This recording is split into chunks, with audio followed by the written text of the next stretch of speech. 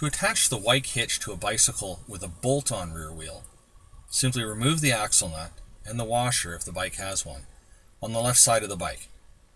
Place the Wike hitch onto the axle and replace the washer and the wheel nut and tighten the nut just enough to allow you to adjust the alignment of the hitch.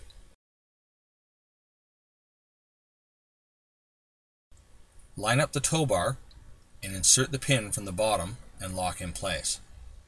With the hitch now in the correct alignment, tighten the rear axle nut while keeping the hitch in position. If there's no way to keep the hitch from rotating as you tighten the axle nut, disconnect the tow bar and align the hitch such that the final tightening of the axle nut rotates the hitch into the correct position as it tightens. Once the hitch has been attached, it remains with the bicycle. When you attach the trailer, don't forget to run the safety strap through the frame and clip it into the tow bar.